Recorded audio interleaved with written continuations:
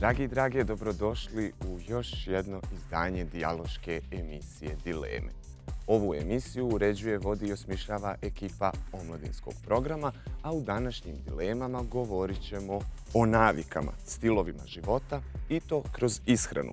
Koliko mesna industrija zaista zagađuje okoliš i planetu? Te na koncu kako napraviti prvi korak u oslobađanju od loših navika.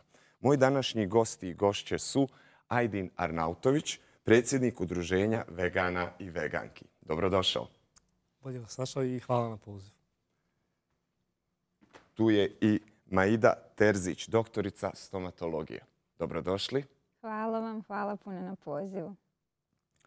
Sa nama je u studiju i Danira Šabić, škola kuhanja za djecu Dennis Little Kitchen. Dobrodošli. Hvala, bolje vas našla. I na direktnoj liniji sa Češkom imamo Berinu Vrhovac, edukacijona projekt koordinatorica u Udruženju vegana i veganki. Berina, pozdrav i hvala na izdvojenom vremenu. Pozdrav, također, hvala na poziv. E, super ljudi, hvala vam prije svega evo još jednom kolektivno što ste se e, odazvali i uzeli učešće u našoj emisiji. Nekako ćemo zakotrljati priču iz nekog ličnog ugla, da tako kažem. Ajdine, e, kad, kako i na koncu zašto ste postali vegan?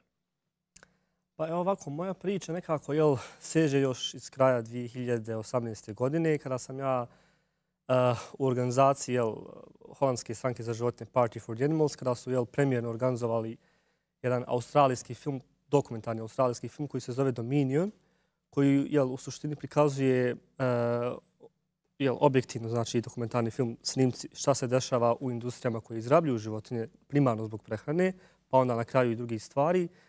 I ja sam nekako, jel, na kraju tog filma uh, došla mi nekako pouka, jel, ja ne mogu ovo više finansirati. Ja tada nisam ni znao kako biti vegan, nisam znao jel, ništa. Ono, jel, čak nisam tada znao da postoji recimo tofu i neke, neke namirnice koje vegan jel, uveliko koriste, ali sam znao da se može biti vegan i nekako sam razmišljao pa stani, ja ne mogu ovo više da financiram i to je to. Tako da za mene je bilo, ona, jel, momentalno sam ono, preko noći postao vegan uh, jel, više mi je bio taj etički poziv jer sam ja znao da ja ne želim to da financiram. Ja sam donekli znao da, što je logično, ja ne mogu da promijenim te stvari.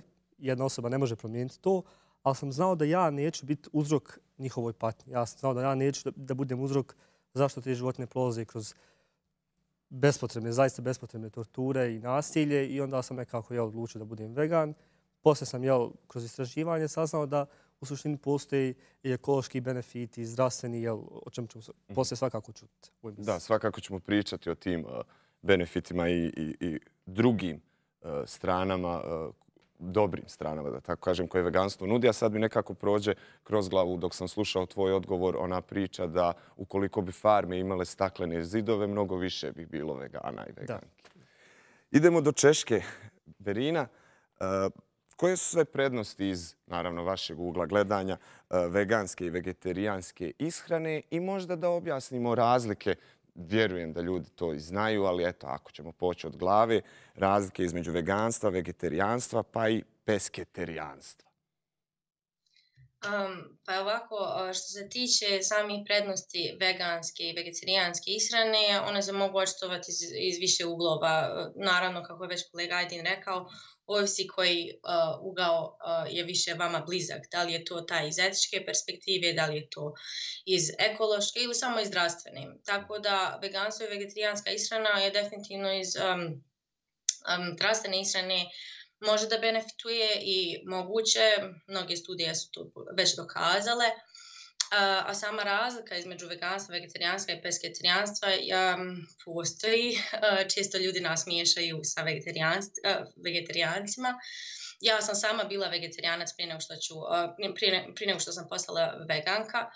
I vegetarijanstvo se, e, biti, osobe koje su vegetarijanci e, konzumiraju životinske proizvode koji su um, sir, mlijeko, jaja, med, dok vega, e, vega, vegani ne konzumiraju ništa što je životinskog porijekla. A pesketarijanstvo je u biti nešto kao vegetarijanstvo, gdje u biti pored konzumiranja životinskih proizvoda, mlijeka, sir, mlijeko, sir, um, jaja, ljudi, ova, ljudi konzumiraju i ribe i morske plodove. Mm To je ta neka osnovna razlika između ova tri pojma. Um, a sami benefiti uh, samog veganstva, ja vjerujem da su puno veći u odnosu na uh, vegetarijanstvo i pesketarijanstvo iz svih uglova uh, koje, sam, koje smo već spomenuli. I etički, i uh, zdravstveni, kao uh, i ekološki.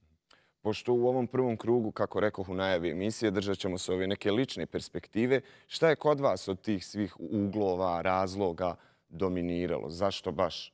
Ili ima jedan da je onako da se ističe ili cijelokupna lepeza je tu?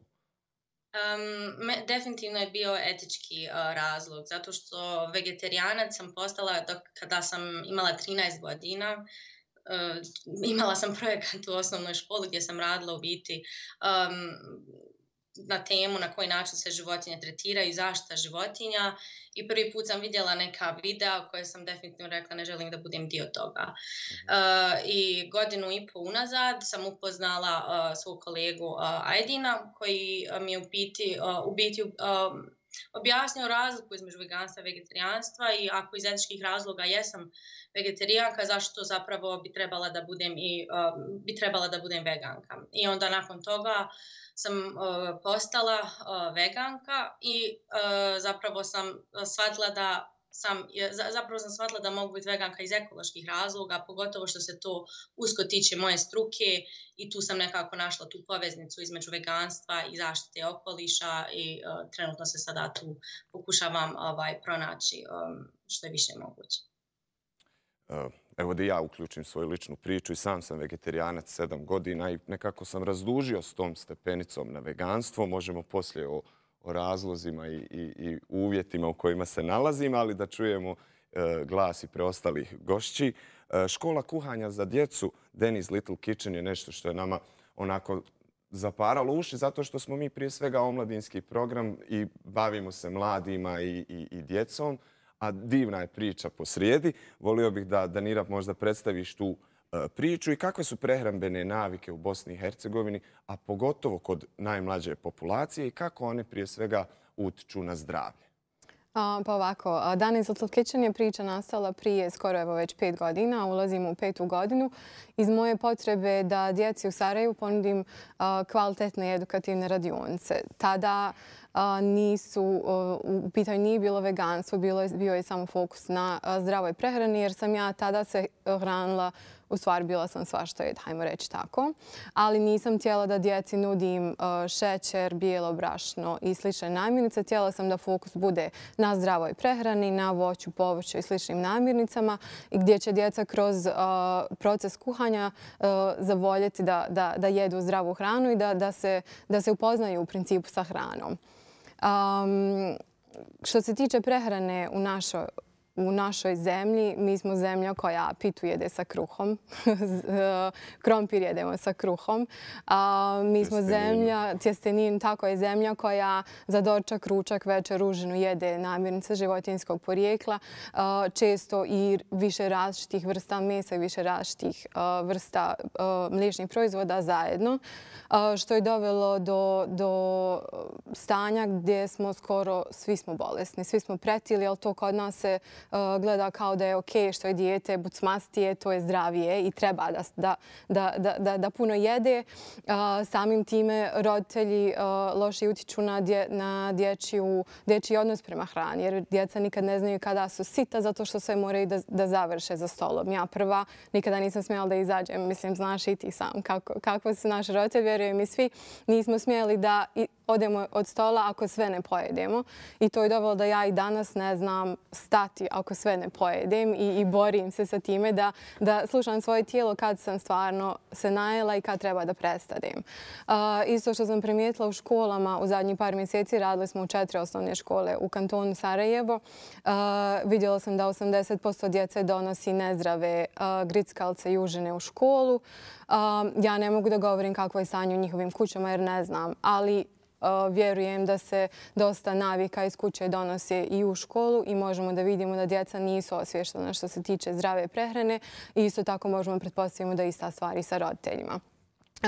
i kroz dan iskećenja ja dalje pokušavam da radim na tome i da mijenjamo sistem gdje će se u škole zabraniti takve namirnice i djeca će smijeti samo da donesu zdrave, zdrave namirnice. Reci mi kratko, je li bilo otpora, je li bilo izazova, je li bilo onako od, naravno, pa, rukovodećih pozicija u školama i uprave škole? Što se tiče škola i nije toliko. Svi su otvoreni da, da mijenjaju ovaj sistem.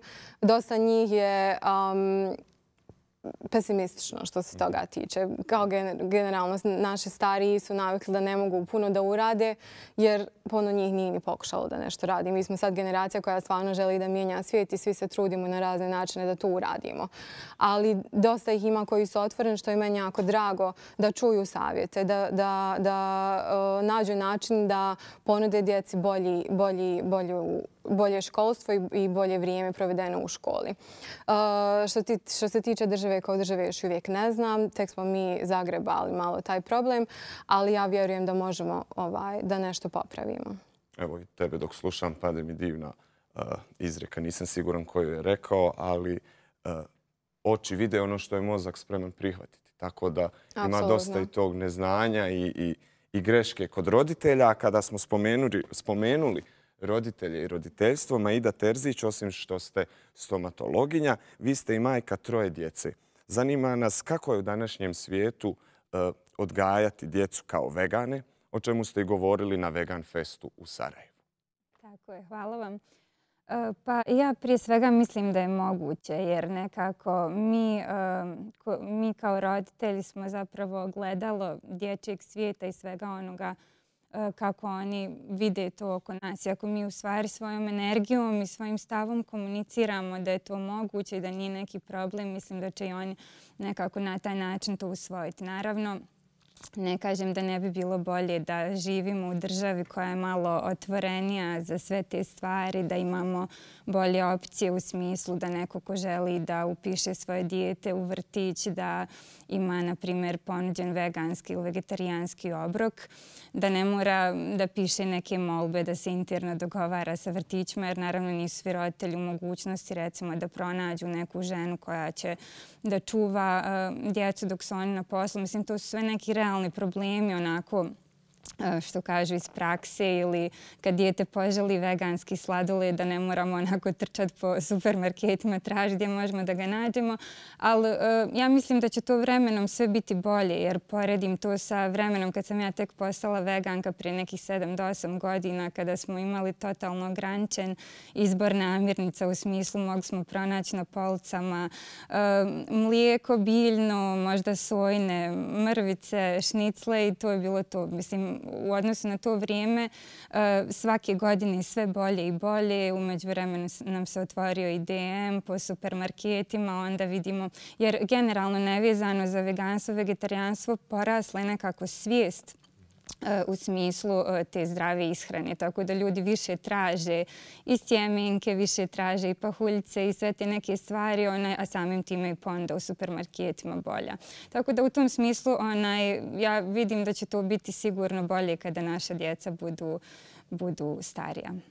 Evo, rekli ste nam nekoliko primjera e, okoline koja e, na neki način utiče, ne utiče na te izazove s kojima se vi susrećete. Šta je sa djecom? Da li ona imaju neka pitanja tipa kako oni mogu hod dog, ja ne mogu ili takve stvari? Da li uopšte razmišljaju na taj način? Da, e, pa e, moj najstariji djete ima 10 godina, e, srednji sin ima 3, a maleni ima tek godin dana.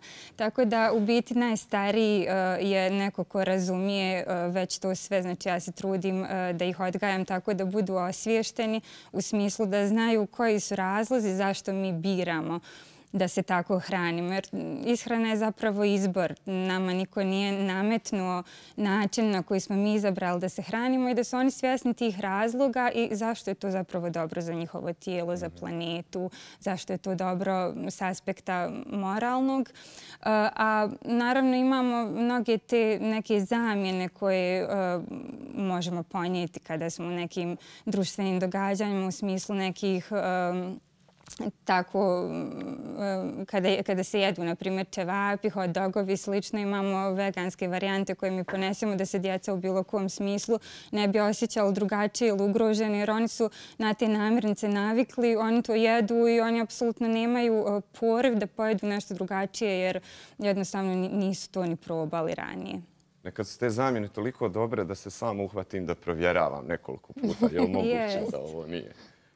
da ovo nije meso. Hvala vam na ovom, tako reći, prvom krugu. U nastavku ćemo pogledati prilog uh, o mesnoj industriji, odnosno utjecaju mesne industrije na okoliš.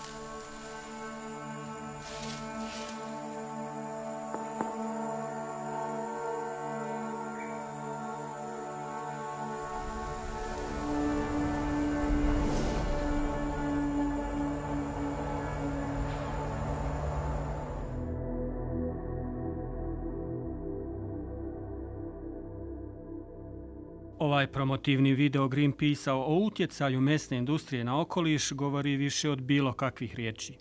Nus proizvodi industrijske proizvodnje mesa odavno su poznati. U izvještaju Ujedinjenih naroda Duga sjena stočarstva iz 2006. godine navodi se kako je stočarstvo odgovorno za 17 do 18 posto sveukupnog ispuštanja CO2 u svijetu. Dakle, još prije 15 godina. A priča tu ne prestaje. Brojni su drugi utjecaji poput e, e, zagađenja nitratima, odnosno raznim džubrivima, koja su, koja su krupan problem za, za pitke vode prije svega, koja prodiru čak i duboko u, u zemljište, završavaju podzemnim vodama. Pored toga, e, goveda također mogu biti izvor kriptosporidija koje su patogen koji kad se nađe u pitkoj vodi ovaj, izaziva oboljenja. Smatra se da je on prvi uzročnik oboljenja u Sjedinjenim američkim državama, kad je u pitanju opet e, zagađenje vode ovim tipom zagađenja. Prema istraživanjima, klasični uzgoj životinja na livadama nije toliko štetan koliko industrijski, gdje se životinje gomilaju na farmama, a šume se masovno krče kako bi se uzgajale žitarice za njihovu prehranu. Iako više miliona ljudi diljem svijeta gladuje, Velika količina kukuruza i soje uzgaja se samo radi hranjenja stoke, svinja i kokoši. Potrošnja žitarica tako postaje još jedno u nizu škakljivih pitanja u procesu industrijske obrade mesa. Posljednji podaci nam govori da je recimo 1961. godine e, prosječna godišnja potrošnja bila 74 milijone tona, a danas je ta potrošnja već e, 284 milijone tona, što nam u stvari pokazuje dakle, da je ta vrsta industrije u izrazitom porastu, a njen uticaj na okoliše zaista ovaj, nemjerljiv. Kada je Bosna i Hercegovina u pitanju kao zemlja u tranziciji, susreće se sa velikim brojem problema koji se tiču zaštite okoliša. Oblast upravljanja otpadom jedno je od gorućih pitanja gdje mjesna industrija ima značajnu ulogu. Odlaganje animalnog otpada nije u skladu sa evropskim normama i predstavlja veliki izazov za Bosnu i Hercegovinu.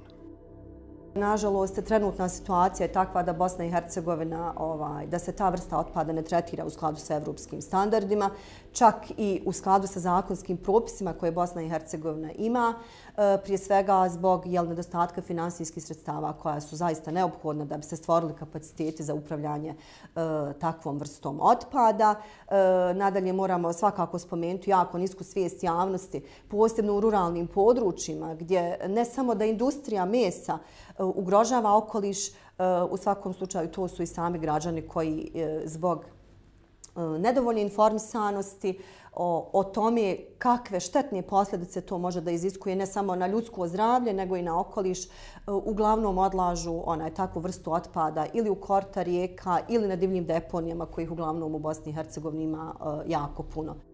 Uz sve probleme koje iza sebe ostavlja mesna industrija, nameće se pitanje da li se traži neko rješenje. I mada ne sumnjamo da tamo vani postoji neko ko razmišlja o tome, kao i kod mnogih drugih škakljivih pitanja kod zaštite okoliša, sve ide vrlo sporo. Jedan od odgovora na utjecaj mesne industrije na okoliš je svakako i veganstvo, ali i tu dolazimo samo do novog neslaganja. Neki ovu prehranu smatraju ekstremnom, strogim načinom prehrane koji se nalazi na radikalnim marginama vegetarijanstva. No danas sve veći broj ljudi posmatra vegansku prehranu na drugi način. Problem kod veganstva je kada čujete vegan, e, smatrate da je to nešto strašno, nešto novo, neka velika promjena koja nije normalna, jer hiljadama godina e, ljudi konzumiraju životinje. Međutim, e, ta reakcija je naravno jasna iz nekog psihološkog aspekta. Međutim, toliko je promjena bilo u prošlosti. Recimo, robovlasništvo je bilo sasvim normalno hiljadama godina, danas apsolutno nije. Ta promjena nam je apsolutno prihvatljiva, ali ako pokušamo da zamislimo s tog aspekta promjenu poput ove naše veganske, apsolutno je ista. Jer sama ishrana na bazi jel, neživotinskog porijekla danas e, nudi apsolutno sve. I okus, i miris, i zdravlje. Čak ste mnogo zdraviji ako ste vegani. Ko zna šta budućnost nosi? Možda je mesna industrija zaista preveliki zalogaj za nas obične ljude. Možda nam je meso u ishrani toliko dugo da doista više ne možemo bez njega. A možda ćemo se uskoro svi hraniti ovakvim jednim odreskom isprintanom na 3D printeru pomoću isključivo bioloških sastojaka. I čudnije stvari su se događale. Bio je ovo prilog kojeg je pripremila redakcija omladinskog programa. Ljudi, budite slobodni uh, ukoliko osjetite potrebu da nešto iz ovog prokomentarišete. Prema kimanju vaših glava dalo se primijetiti s čim se slažete, s čim se ne slažete.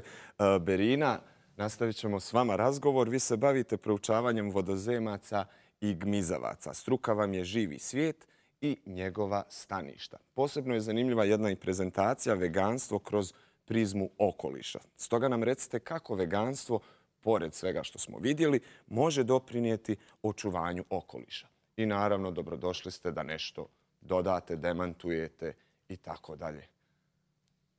Um, pored toga što se bavim proučavanjem vodozemaca i gizavaca, to sam radila tokom svog ovaj, dodiplomskog studija. Uh, trenutno sam sad na master studiju u kojem uh, se bavim upravljanjem prirodnim resursima i dosta tokom studija uh, sam um, imala priliku da zapravo um, se usmjerim ka tome i da vidim uh, koji su to, na koji način zapravo život, proizvodnja životinskih uh, proizvoda utiče i stvara pritisak na prirodne resurse um, i na koji način se zapravo oni crpe i šta mi možemo uraditi po tom pitanju. Ovaj prilog koji ste sad pustili je stvarno uh, odličan i dosta zapravo tu stvari je već rečeno uh, na koji način um, po pitanju zemljišta, uh, vodnih resursa, uh, zraka, um, proizvodnja, uh, masovna industrijska proizvodnja ovaj, životinja i životinskih proizvoda utiče krčenje šuma, e, požarima, sjećom, kako bi se napravili pašnjaci za ispašu stoke i gajla,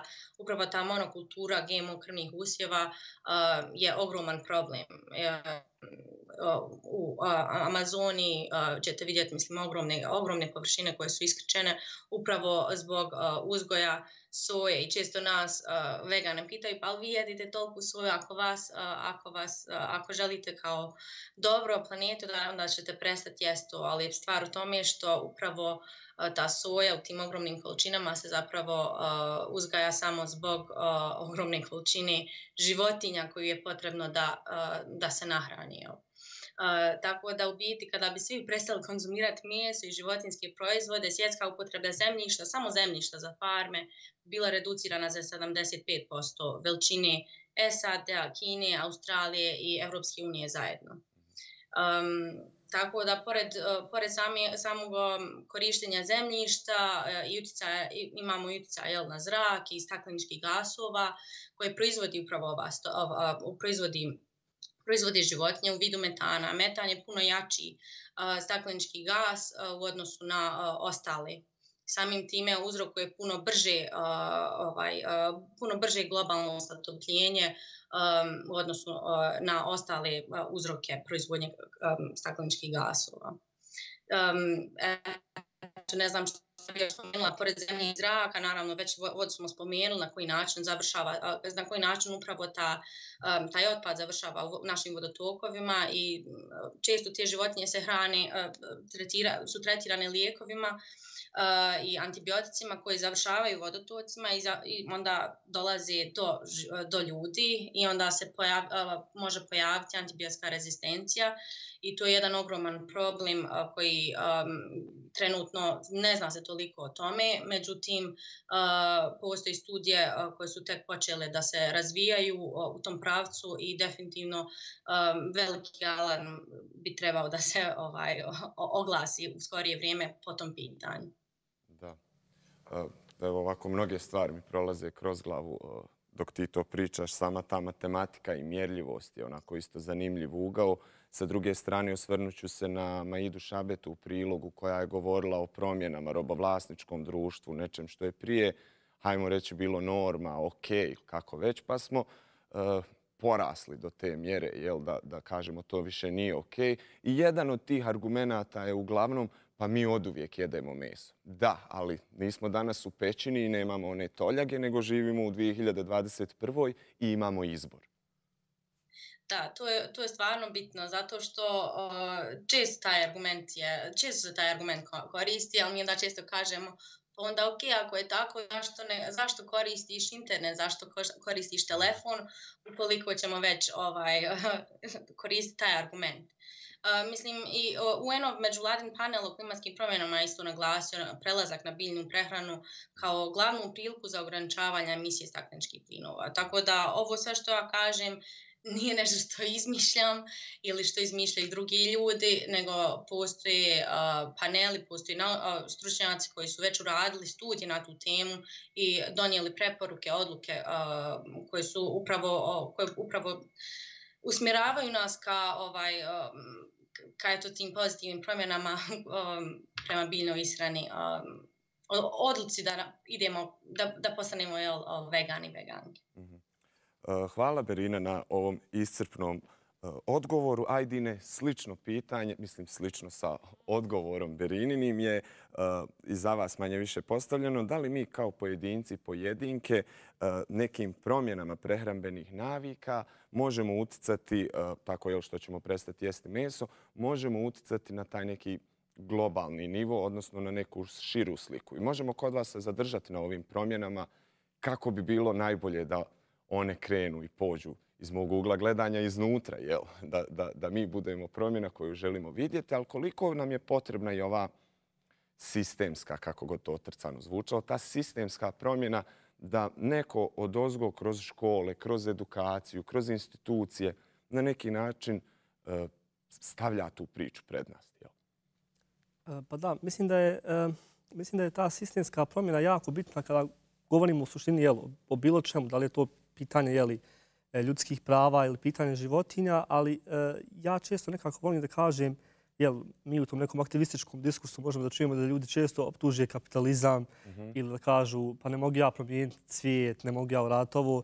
Tačno je da jedna individua ne može promijeniti svijet, ali, ali ljudi se nekako trebaju sjetiti ovaj, samo da pogledaju statistiku, jel, da se samo malo vrate i, i u historiju ako hoćete, da ovaj, je, uvijek je ta jedna malena skupina ljudi ono što je od uvijek mijenjalo svijet. Jel? I jel, nekako 1%, kad skontate, jedan, možda čak i manje od 1% stanovništva, ljudi su oni jel, koji usmjeravaju svijet kao što su recimo, jel, vodeći naučnici i tako dalje, jel, oni koji prave neke inovacije. Tako da, e, nekako volim reći da e, naravno da je bitna, da je bitna ta jel, sistemska ovaj, podrška, ali isto tako bitna je individualna, jer sistem, e, korporacije, kapitalizam oslušava u suštini šta govore individue, šta mi tražimo. Jel?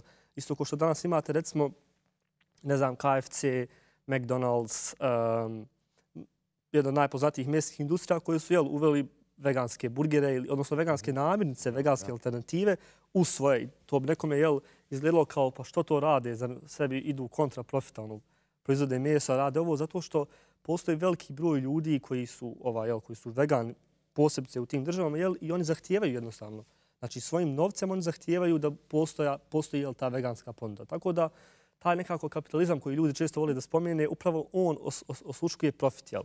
A profita će biti tamo gdje ima više ljudi, gdje više ljudi daj, daju novac u suštini, jel? Mislim da je to nekako vrlo jednostavna ekonomija i ono što jel, mi kao jel, aktivisti, aktivistice pokušavamo kod ljudi promijeniti je da postoji ta individualna promjena.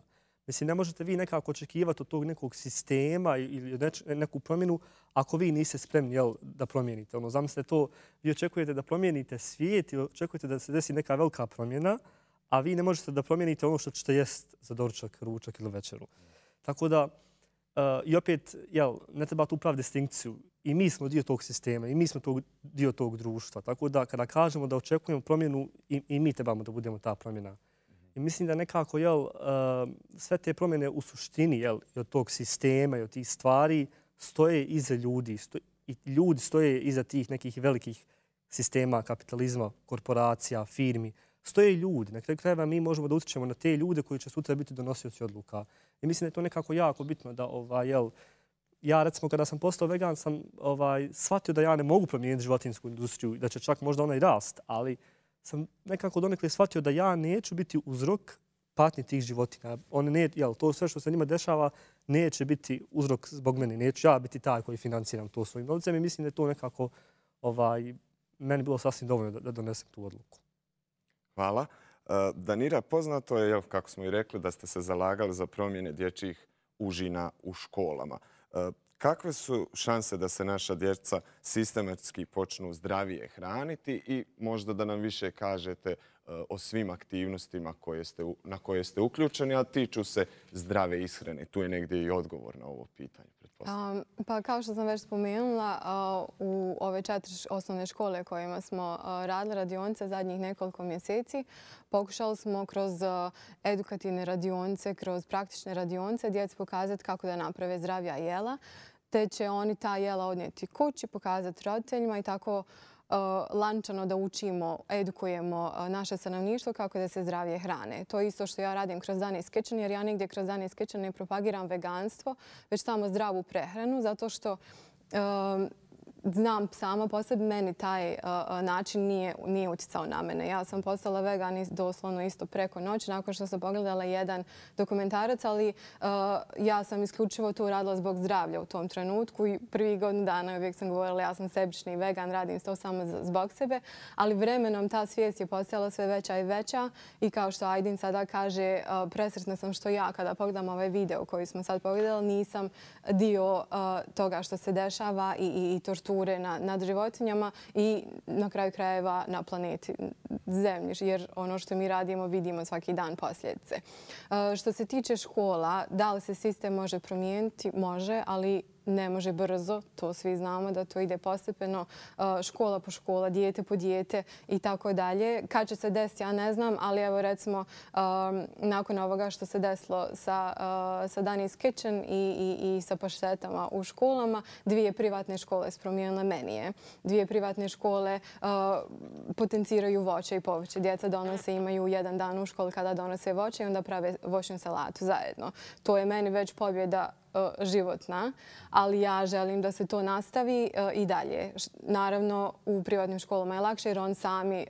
odlučuju kako će njihov sistem da djeluje unutarnji, ali za državne škole mi moramo svi zajedno da radimo. Ja to pokušavam sa edukacijom. Kao što sam rekla, i kroz radionce um, mi se fokusiramo na veganske proizvode, ali djeca to ne znaju. Mi znamo da je to što pravimo zdravo, ali onda oni kuće odnesu jelo, odnesu recept i roditelj zovu i pitaju wow, šta je ovo, kako se napravili, žele i oni, tako to ide. Na neki, Primilo se sjen. Jeste, na neki uh, uh, uh, mikronivo. Mikronivo i način koji je na mene najbolje utjecao. Ja se nadam da će i na ostale. Možda nije loše ovdje da spomenemo zdravoluciju. Da, zdravolucija, kao što sam rekla, nakon što, sada da objasnim šta se u stvari desilo sa Danis Kitchen, prije mjesec dana sam ja bila u jednoj od tih osnovnih škola i zatekla sam se za vrijeme velikog odmora, kada su djeca jela užine koje su donijeli iz škole. I te užine su bile katastrofalne zato što su bile e, razni čipsevi, sokovi, gazirani sokovi, e, butle s viršlom, razni slatkiši. E, ništa što djeci može da da ikakav benefit da bi oni najeli se, da bi dobili vitamine, minerale koji su im potrebi, energiju koja im je potrebna da nastave da ovaj, ostatak dana da budu tu prisutna i fokusirana. I ja sam stavila slike na Instagram, revoltirana time što se desilo, jer sam pitala djecu da li su oni kupili to u okolini škole, jer mi je djelovalo kao kad smo mi da dobijemo džeparac pa kupimo svašta u školu. Međutim, eh, oni su svi to donijeli od kuće. E, ja sam objavila te slike i što se desilo eh, priča je kompletno izvučena iz konteksta um, i desilo se to da je dan Kitchen profil ugašen na Instagramu jer su ljudi prijavljivali jer eto otkud men pravo da napadam roditelje, da govorim šta djeca smiju da jedu, uh, da diram u dječje užine jer je to predstavljeno kao da sam ja otela toj djeci sve što su on donijeli, ali to je kroz lijep razgovor teklo. Djeca su htjela da pokažu jer meni je i posao bio da uđem u školu i da vidim kakva je situacija da bih mogla da je popravim. Ne da prozivam nekoga, nego jednostavno da radimo konstruktivno i da radimo zajedno da riješimo taj problem. Šta se isto dešava? Ovi roditelji koji žele da im djeca zdravije hrane, koji su malo osvješteniji, pošalju zdravije namirnice, zdravije proizvode u školu, ali djeca Uh, ismijavaju tu djecu. Uh, onda većina je njih koji se nezdravo hrane pa hoće i ova djeca i teško je utjecati uh, tako na sistem. Zato je cilj da generalno sistem ima pravila koja svi moramo da slijedimo jer to je jedini način na koji svi možemo, na koji će svi roditelji moći da ovaj, djece šalju zdravu hranu u školu ili eventualno da škola nudi zdraviju hranu. Odlično se ova marketing mašina u kapitalizmu potrudila da nekako promijeni taj narativ gdje su vegani. Evo ima i da kaže, ono, prva reakcija je običnom svijetu, pod navodnike mhm. običnom radikalizam i tako dalje, a ne znam kako je veći radikalizam ubrati papriku i, i zaklati pile lupam. I čak kad imaju ovi memoriji na Facebooku, pa šta se radio prošle godine, pretprošle i tako dalje, često objavljujem i takve videe. Mhm. I kad se, kad se vratim na, na, da pregledam šta sam objavljivao, sadržaj se ne može više emitovati. Tako da kriti se iza tog neznanja i, i, i, i prebacivati nekako lopticu na drugu stranu je uh, jedan dobar narativ kojim se služi cijela ova medijska, marketinška, kapitalistička mašinerija. E, Maida Terzić, životni stil vaše porodice je usmjeren prema prirodi i ekološkim opcijama. Da li je teško i e, održati takav način stil života u kontekstu Bosne i Hercegovine? Pa da, kad čovjek krene malo više da istražuje veganstvo, onda e, osim tog aspekta zdravlja otvori se dakle taj aspekt ekološki i onda osim što smo prestali da jedemo meso, e, počeli smo da upražnjavamo i druge načine na koji možemo da štitimo našu planetu. Pa tako onda učimo djecu naravno da je bolje ponijeti ceker nego nego kupovati stalno kesu, e, da kupujemo metalne slamke, a ne jednokratne, koristimo višekratne pelene, pamučne umjesto jednokratnih. I tako neke stvari malo pomalo smo onaj, e, uvrstili u svoj svakodnevni život i mislim da na taj način da prinosimo. Naravno, e, osim toga, trudimo se da puno idemo u prirodu i da nekako to prirodno pojednostavljeno djetinjstvo i okruženost prirodom postane normalnost u odnosu na na svakodnevno gledanje televizora, crtanih, naravno sve to sve to normalno, ali čovjek treba onako gledati da su djeca generalno okružena tim nekim boljim stvarima. Ja uvijek kažem ljudima, mislim, život nije e, crno-bijeli svijet i sasvim je normalno da ne možemo e, uvijek dati 100% maksimum. Mislim, uvijek dajemo svoj maksimum u tom momentu i e, ja kažem, život sa troje djece nije uvijek uh, bajan, jednostavan i sasvim je normalno da ćemo ponekad u određenom momentu i pojesti neku hranu koju ćemo kupiti usput i kupiti kesu ako smo zaboravili da ponesemo ceker ili ponijeti jednokratne pelene ako idemo avionom na neki put. Mislim, e, ne treba misliti da kada neko bira bolje opcije da živi u nekom svom ekstremizmu i da se pati i da se muči, jer e, svaka naša odluka nekako treba da dođe sa mjesta ljubavi, iz mjesta želje i kada to radimo iz tog aspekta, onda nam apsolutno to ne predstavlja neku poteškoću, nego zapravo uživamo mi u tom, u tom cijelom procesu. I sam moj početak je tako krenuo, spontano, u stvari istražujući kada sam rodila prvog sina e, i kada sam krenula njegovu dohranu. Obično svaki e, roditelj u tom momentu onako malo počne da prispituje svoje navike u smislu ishrane, jer e, u biti ne možemo mi djetetu servirati jednu hranu, a mi na tanjiru imati nešto drugo i većina roditelja bar malo prilagodi, prilagodi se tome da, da počne zdravije da se hrani. I ja sam u tom smislu tada i počela da, da istražujem te zdravije opcije i tako došla do, do veganstva.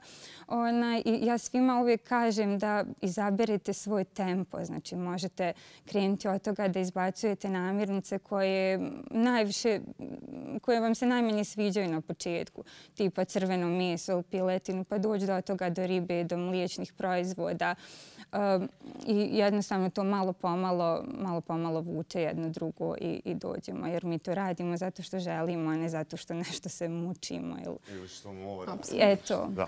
Dobro, uh, hvala vam. U nastavku emisije pogledat ćemo anketu koju je redakcija omladinskog programa uradila na ulicama Sarajeva na ovu temu. Vegetarijanci ste rekli, pa imaš pravo da se hraniš kako hoćeš. I zdravlje, jel, meso, zavisi kako gleda, ja istino nisam vegetarijanac, ali to. Ja sam isto za. Za vegetarijanstvo. Zašto? Pa eto, svaki ima pravo na, svoje, na svoj izbor. Jesi li sama možda vegetarijanac? Ne, ja ne mogu bez mesa. Pa ja iskreno ne znam, ne volim životinje. Da, ono, da se ubijaju, da se jedu, tako da meni iskreno sve jedno, mislim čovjek je ono po svojoj anatomiji biljojed, tako da može jesti, može biti vegetarijanac, može jesti meso, sve jedno, ko se zašto opredijeli, poštujem sve.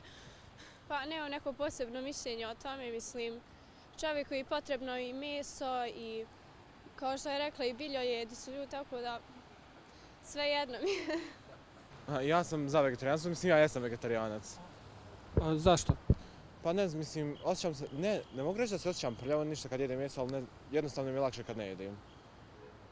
To je to ništa sad nešto specijalno, ni neki religijski, ono, samo ne želim da jedem. A meni je to sve razbog, ja. Neko može, ako je to nekom sreća, neko se zabavlja, ti je, ne znam. O vegetarijanstvu. Pa mislim da to sasvim okej okay za ljude koji žele da to ispoštuju. Uh, ne imam ništa protiv, ljudi vidi benefite u tome i vrlo je zanimljivo provat, čak bi ja to volio provati u jednom trenutku, čisto da mogu imati konkretni i bolji stav o tome. To je lična stvar, onaj, svako ko misli da može to jel, da izdrži, ja sam pokušala, nisam uspjela i svaka čast stvarno tim ljudima. Bila je ovo šarena anketa na još šarenijim ulicama Sarajeva. Uh, ukoliko imate potrebu da neke tabuje razjasnite, da nešto uh, objasnite iz svojih cipela, ono što mi je zanimljivo, Ajdine, negde se ispomenulo uh, da je, da je ovo manje više privilegija, da je veganstvo privilegija materijalno sposobnih, odnosno takav način života. Eh, u kojoj mjeri vegetarijanstvo i veganstvo mogu biti trend privilegovani? Pa evo, znate kako ja prije svega rekao ovaj, da mi ova anketa nekako dosta interesantna, zato što um, nisam mislio da će ljudi, mislio sam da će nekako ljudi biti dosta, uh, dosta više protiv jel, veganstva, da, malo smo, jel, moram reći, pozitivno zanadili odgovori, jel, vidi da su ljudi, ali to mi je drago, znači da, jel, između ostalog i naša organizacija napravila neki korak. Mi smo malo, jel, osvijestili ljude da nije baš da se ne može bez mjesta. Mislim, ja bih ovdje nekako, evo, e, da sad malo citiram, jel, naučnu studiju, recimo Američka asocijacija za prehranu, koja je najveći organ jel, na svi, u America koji na svijetu, ovaj, za prehranu, on su pre više od deset godina rekli da je veganska prehrana može biti nutritivno adekvatna, tako da mislim da tu sve neke zdravstvene debate padaju u vodu. Mislim, nauka je rekla svoje. Jel, neki od najzdravijih na planeti Zemlji.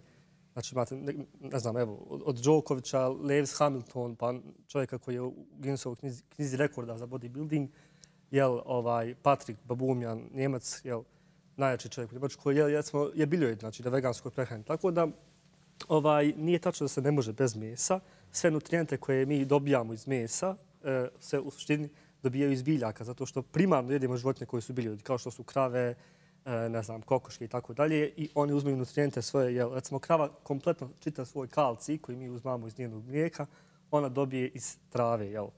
Tako da, uh, zašto ne uzmati kalci direktno iz zemlje, ovaj, ne znam, evo, B12 koji se nama spominje, da, to je čest, preko 90% vitamina B12 se u suštini daje životinjama, tako da ljudi koji jedu meso u suštini e, nemaju prirodno B12, zato što ta krava ne konzumira B12 iz zemljišta, odnosno iz bakterija, nego je zatvorene u onoj factory farming u industriji i logično da će se davati B12, kao i, i milion drugih suplemenata. Tako da mislim da, da, da veganstvo je tu definitivno zdravija ova varijanta.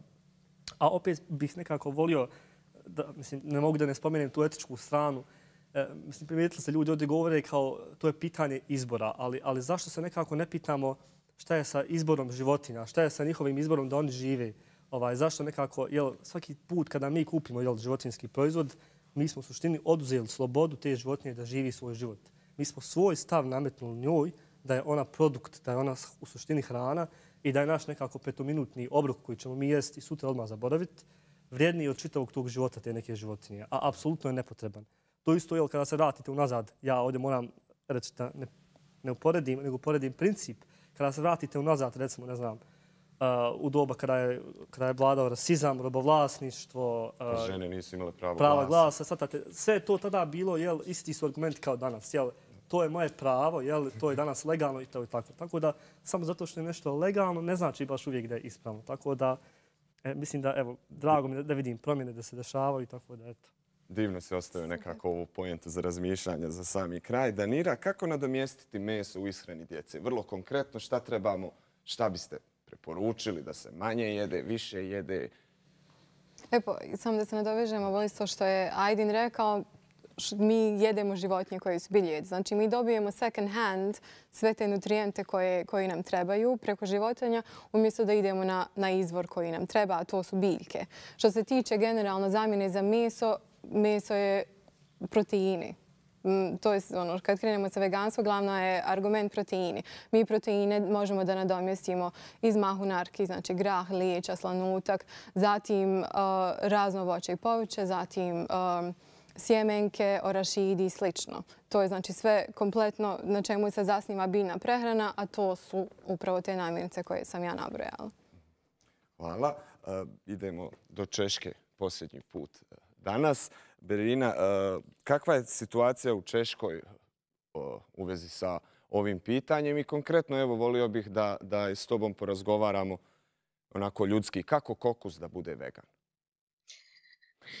Um, Ovako, ja sam student, znači kokus, um, ali definitivno, mislim, moguće je samo je stvar u tome, uh, mislim, Dani može puno bolje to odgovoriti, uh, ali sve te namirnice koje mi, mož, mi možemo dobiti iz cjelovite ishrane, znači uh, žitarica, mahunarki i na taj način biti ovaj, imati održivu i zdravu ovaj, vegansku ishranu Ehm, ne možemo niko reći da je kilo ovaj uh, janjetine uh, jeftinije od kilo leće, pritom to kilo leće će puno duže trajati uh, nego što će to e, ta, ta kila janjetine. Uh, tako da samo je stvar balansirane uh, ishrane i da znamo odakle dobiti koje nutrijente, odakle ćemo dobiti proteine, odakle ugljikohidrate i da je ta proporcija u ovaj uh, toku dana tih svih obroka koje imamo ovaj dovoljna uh, za unos svih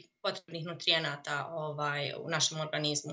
A sama situacija u Češkoj uh, je stvarno uh, ja kad sam došla obično moramo koristiti ovu aplikaciju zove se Happy Cow i to, to, to ta aplikacija pomaže da nađemo opcije veganske vegetarijanske ishrane međutim ovdje apsolutno to nisam morala koristiti bilo gdje da dođem, postoji veganska opcija.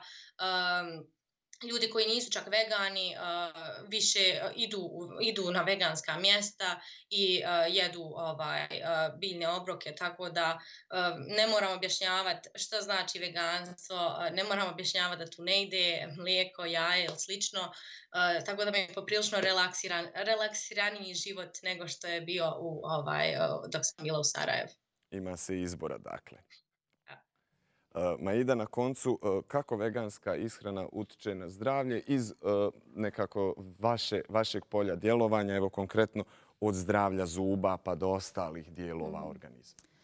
E, pa veganska ishrana prije svega, to su brojni studije istraživanja pokazale da smanjuje rizik za nastanak kardiovaskularnih bolesti, određenih tipova raka, kao što je recimo rak dojke, e, smanjuje rizik za nastanak diabetesa, onda e, vegani inače imaju niži nivo holesterola i niža je šansa da će razviti pretilost. To je onako sistemski sistemski što je dokazano, a u smislu zuba, dakle, veoma je važna ta zdrava ishrana za zdravlje zuba. Mislim, mi kao nacija generalno, što sam primijetila u svojoj praksi, radu, nismo toliko osvješteni zapravo da zdrava ishrana ima veze i sa zdravljem zuba, ali recimo e, vegani, obzirom da konzumiraju e, veći, veću količinu te hrane koja se žvače, e, samim time se luči više pljuvačke, a samim time je samo čišćenje ustima bolje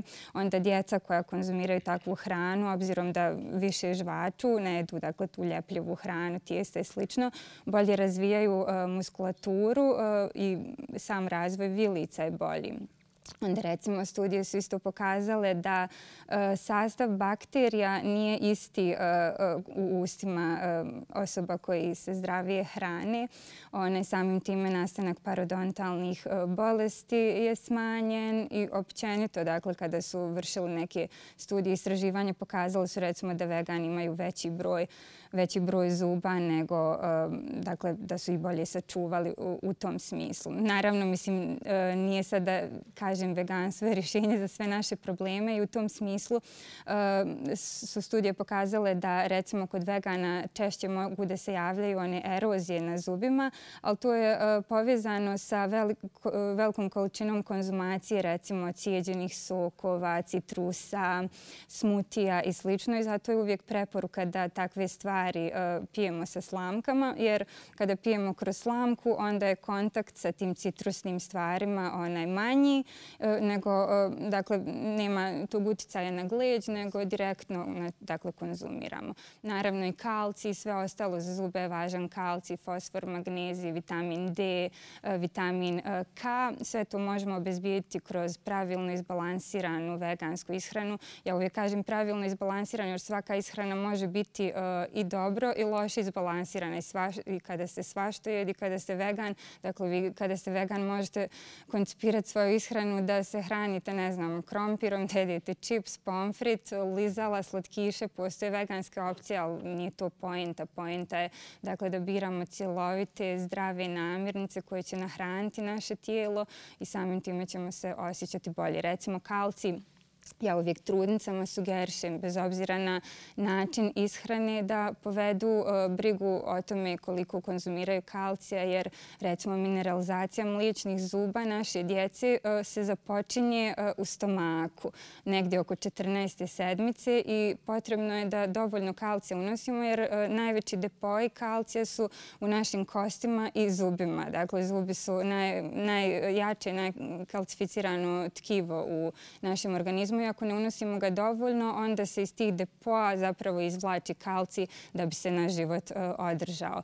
Tako da recimo evo jedan brzi trik kako da trudnica može e, od prilike biljnom ishranom unese dovoljno kalcija u toku dana. Potrebno je na primjer da popije dvije šolje biljnog mlijeka koje je obogaćeno kalcijum, recimo jednu e, čašu cijeđenog soka od naranđe, e, šolju, e, šolju brokule kuhane na pari ili kuhane, onda pola šolje badima i jednu šolju graha. Dakle, otprilike te sve namirnice će zadovoljiti naše dnevne potrebe za kalcijumom.